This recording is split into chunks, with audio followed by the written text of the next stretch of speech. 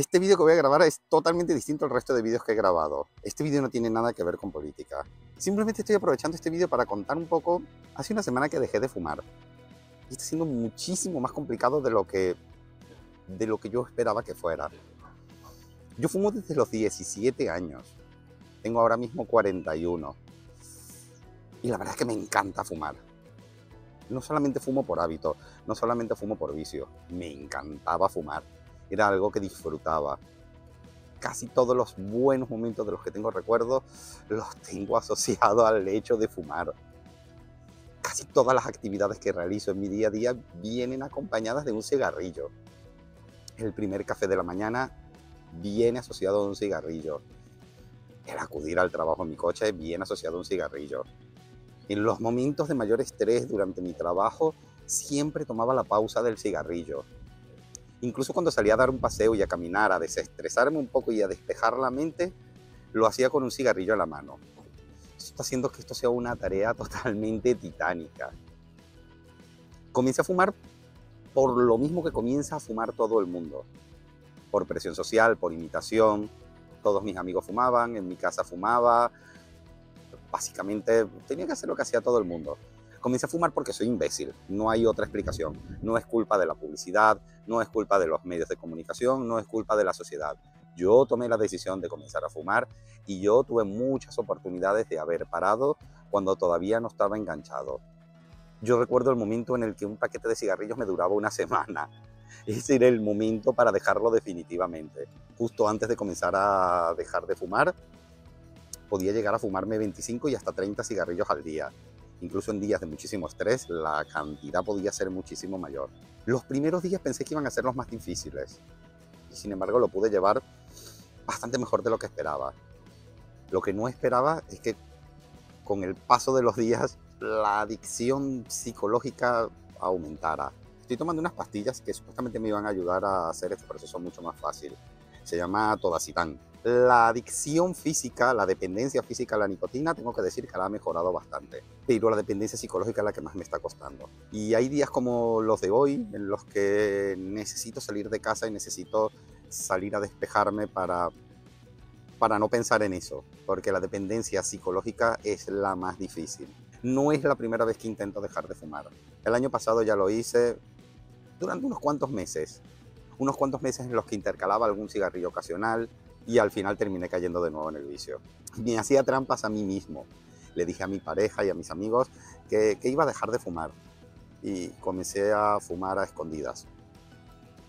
Me escondí para fumar, como si fuese así de fácil, como si no lo notaran, como si ella no notara el olor a cigarrillo cuando me besaba o cuando se acercaba a mí. Mm. Hubo un tiempo en el que lo dejé, me acuerdo que hace, hace unos cuantos años, cerca de 10 años ya, logré dejar el cigarrillo. Estuve un año sin fumar, absolutamente nada. Retomé el hábito de la pipa porque me hacía sentir interesante y porque me gustaba mucho fumar en pipa también. Mi primer error, tenía que haberme alejado por completo del cigarrillo. Y luego comencé un trabajo nuevo en el que todos mis compañeros fumaban. Eso ya es mala suerte. Que todos tus compañeros de trabajo fumen ya es mala suerte. Y claro, pasaba lo de siempre todos salían a fumar al mismo tiempo, mm, se producían charlas eh, entre que yo era el nuevo y quería integrarme al grupo y que se hablaba mucho de trabajo y que cuando yo pedía algún resumen, pues ya nada, haber bajado. Comencé a bajar con ellos y es que todavía lo recuerdo como el primer día, cuando uno de los compañeros sacó del bolsillo de la camisa el paquete de tabaco y me lo ofreció. No era la primera vez que decía que no, pero por alguna razón ese día lo cogí y es que además lo recuerdo en cámara lenta. Recuerdo como poco a poco fui sacando el cigarrillo del paquete. En cámara lenta lo revivo todavía. Y yo sabía que era un error. Yo mismo me decía, la estás cagando, la estás cagando, la estás cagando. Y encendí el cigarrillo y, ¡ay, qué delicia! Y así me volví a enganchar. ¿Con un solo cigarrillo? No. Pero bueno, si ya te fumaste uno, ¿qué más da fumarte dos? Si igual vas a llegar a casa oliendo a tabaco, ¿qué más da llegar oliendo a uno que a dos que a tres? Y así lo retomé de nuevo, luego de un año de haber estado sin fumar. Lo curioso es que la primera vez fue mucho más fácil, o por lo menos así lo recuerdo. Ahora mismo, sin embargo, me está costando horrores. Y de hecho hoy decidí sacar la cámara y contarlo. Creo que ayuda mucho poder hablar con todo el mundo, con todo el que pueda. escuchar opiniones y consejos, escuchar lo que te dicen. Creo que esta pequeña confesión me está ayudando bastante para tratar de llevarlo. Es verdad que ahora mismo lo único que hago es pensar en cigarrillo, pensar en fumarme un cigarrillo, pero por otro lado también estoy adquiriendo un compromiso público de no volver a fumar. Hay mucha gente de mi entorno que no sabe que lo he dejado. Sin ir muy lejos, mi jefe ayer me pidió una boquilla porque fumaba de liar. No sabía que yo había dejado de fumar. Así que hoy estoy haciendo público ante todo el mundo el hecho de que he dejado de fumar. ¿Y esto qué tiene que ver? A ti a lo mejor que te interesa si estoy dejando de fumar o no. Probablemente nada. Pero quienes me conocen, pues pueden pensar que es buena idea contarlo. Creo que puede ayudar mucho a tener el soporte y la ayuda de los que te rodean, de todo el que te conoce y de los que no.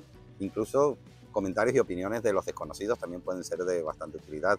Ayuda muchísimo escuchar los consejos de todas las personas que han dejado de fumar, que de verdad lo han logrado. Tengo muchos compañeros en la oficina donde trabajo que eran fumadores como yo, no sé si tan, no sé si al punto de adicción que tenía yo, pero, pero sí eran fumadores y poco a poco lo han ido dejando y me han ido contando sus experiencias y ayuda muchísimo.